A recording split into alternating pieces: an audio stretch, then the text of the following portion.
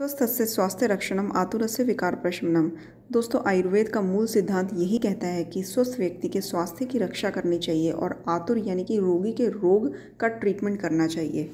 आज इस एपिसोड में हम स्वास्थ्य रक्षण की ही बात करेंगे, जिसमें हम आपको बताएँगे कि ये जो सीज़न चल रहा है, यानी कि जो विंटर सीज़न है, इसमें डाइट प्लान क्या होना चाहिए, कौन से दोष इस सीज़न में प्रकोपित होते हैं और उनको ठीक करने के क्या क्या उपाय हैं।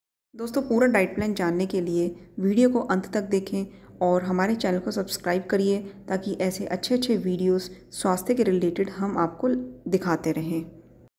विंटर सीज़न एक बहुत ही हेल्दी सीज़न माना गया है क्योंकि इस सीज़न में हमारी जो पाचक अग्नि होती है, यानी कि जो डाइजेस्टिव फायर है, जिसे हम जठराग्नि भी कहते हैं, वो प्रदीप्त होती है।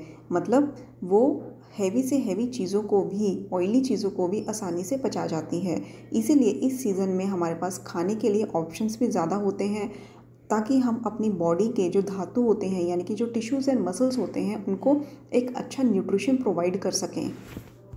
और दूसरा पॉइंट ये है कि, क्योंकि हमारे जो बॉडी के शरीर के छिद्र होते हैं, जो छोटे छोटे पोर्स होते हैं, वो इस सीज़न में सर्दी के सीज़न में सिकुड़े होते हैं, जिसके कारण हमारी बॉडी की जो हीट है, ऊष्मा है, वो बाहर नहीं निकल पाती, वो अंदर ही रहती है। तो अग्नि जो है, वो ज़्यादा रहती है, जो पाचक अग्नि है। इसीलिए हमें एक ईंधन के रूप में हम आहार ज़रूर चाहिए होता है। मतलब कि हमारा खाना इस सीज़न में बहुत ज़रूरी होता है। अगर हम प्रॉपर डाइट नहीं लेंगे तो हमारी जो अग्नि है, वो हमारी धातुओं को खाने लगती है। मतलब कि हमारे शरीर को अंदर से ही कमज़ोर बनाने लगती है। गुड़ में गुरु और स्निग्ध हो, यानी कि जो फ़ूड आइटम्स हैवी होती हैं और ऑयली होती हैं, और मधुर अमल लवन टेस्ट वाली होती है मतलब जिसका टेस्ट मीठा हो और थोड़ा सॉल्टी हो, या फिर जो सौर यानी कि खट्टे टेस्ट वाली चीज़ें इस सीज़न में खाने से हमें बेनिफिट मिलता है।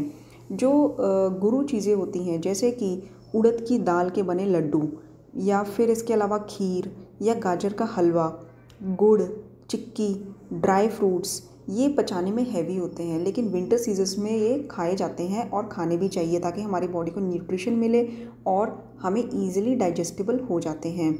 और इसके अलावा गचक हो गई, मूंग दाल का हलवा हो गया।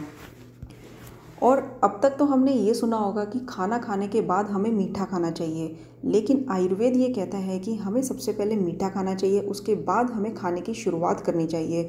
इसमें ये लॉजिक है कि अगर हम खाने के अंत में मीठा खाएँगे तो उससे हमारा कफ दोष बहुत बढ़ जाएगा, जो कि इस सीज़न में हमें और हमारी बॉडी के लिए हार्मफुल हो सकता है।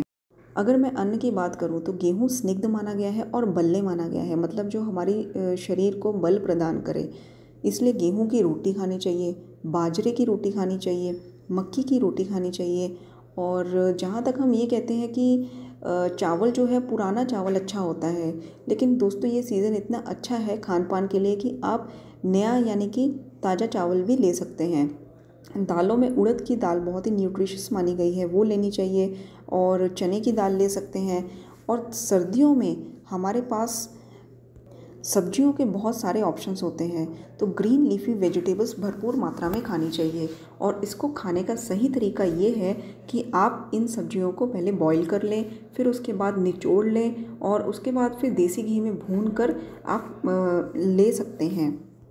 गाजर का जो जूस है, वो भी ले सकते हैं। हम कैरेट की जो सब्ज़ी है तो सब्ज़ी के रूप में ले सकते हैं, गाजर का जूस ले सकते हैं और गाजर का हलवा ले सकते हैं। इस तरह से हम कैरेट को भी कई तरीक़ों से कंज्यूम कर सकते हैं। और इसके बाद जो मैं आपको बताऊँगी आंवले की बात।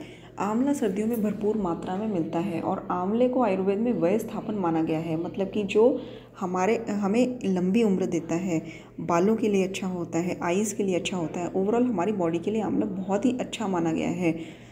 इसलिए इस सीज़न में आप आंवले को जूस के रूप में ले सकते हैं या फिर आंवले का अचार डाल के ले सकते हैं। और इसके अलावा और भी फ्रूट्स हैं, जैसे कि अमरूद है, पपीता है सिट्रस फ्रूट्स कीनू है ऑरेंज है। आपके पास फ्रूट्स के भी बहुत सारे ऑप्शंस आ जाते हैं सर्दियों में। दोस्तों, आपको दो बातों का ज़रूर ध्यान रखना है कि एक तो आपको अल्प आहार मतलब कि कम भोजन नहीं लेना है, क्योंकि मैंने पहले ही बताया है कि अग्नि इस सीज़न में प्रदीप्त होती है तो आप अगर कम भोजन लेंगे तो वो आपके बॉडी को ही हार्म पहुँचाने लग जाएगी। इसलिए आपको भूखे नहीं रहना है प्रॉपर डाइट लेनी है, क्योंकि सर्दियों में रातें लंबी होती हैं तो इसलिए सुबह उठकर भूख लगाती है। तो उस समय आपको अच्छी डाइट लेनी है और सत्तू सत्तू नहीं खाना है आपको।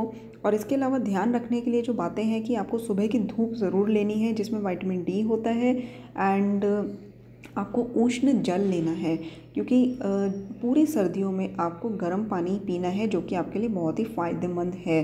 क्योंकि आप डाइट ऐसी ले रहे हैं, जिस, जो कि ऑयली है एंड हैवी टू डाइजेस्ट है। हमारी जो जठराग्नि होती है, वो उस डाइट को पचा तो लेती है, लेकिन उस डाइट में जो ऑयल यानी कि फ़ैट होता है, उसको पचाने के लिए हमें उष्ण जल पीने की आवश्यकता है और कफ का, यानी कि कफ दोष को भी बैलेंस में रखने के लिए हमें उष्ण जल पीना चाहिए। इसके अलावा अभ्यंग की बात की गई है। विंटर सीज़न में अभ्यंग करना, यानी कि मसाज करना बहुत ही ज़्यादा बेनिफिशियल होता है। अभ्यंग के लिए हम तिल का तेल या फिर हम सरसों का तेल प्रयोग कर सकते हैं। दोस्तों, सर्दियों के सीज़न में व्यायाम करना बहुत ही ज़रूरी है। व्यायाम एंड योगा आप कर सकते हैं, क्योंकि जो खाया है, अब उसको पचाना भी है और अपनी बॉडी को स्वस्थ भी रखना है। इसलिए आप एक्सरसाइज एंड योगा दोनों करिए। डायरी प्रोडक्ट्स लेने चाहिए और सबसे इंपॉर्टेंट बात है कि आप दही ले सकते हैं, क्योंकि दही में एक सौर टेस्ट होता है, जो कि वात के लिए बहुत ही अच्छा है। और दही की तहसीर भी गर्म होती है, स्निग्ध होता है, गुरु होता है ईजिली डाइजेस्ट हो जाता है एंड जो डायबिटिक्स होते हैं, उनके लिए तो बहुत ही अच्छा माना गया है। इसमें अगर आपको प्रॉब्लम दही लेने में आ रही है, अगर कफ़ की प्रॉब्लम आ रही है तो आप उसमें मिश्री मिक्स कर सकते हैं या फिर शहद यानी कि हनी भी मिक्स करके खा सकते हैं, ताकि आपको थ्रोट के रिलेटेड दही खा के कोई प्रॉब्लम ना आए। तो ये था दोस्तों आयुर्वेद का आहार शास्त्र, जिसका वर्णन आचार्य चरक एंड आचार्य वाघभट ने बहुत ही अच्छे रूप से किया है। आई होप आपको ये वीडियो यूज़फुल लगा हो, और जो भी इस वीडियो में सर्दियों का खान पान बताया गया है, डूज़ एंड डोंट्स बताए गए हैं, आप प्लीज़ उसको फॉलो करिए ताकि आपका स्वास्थ्य बना रहे और आपको कोई रोग ना हो। Thank you for watching and please subscribe our channel, do support us. Thank you so much.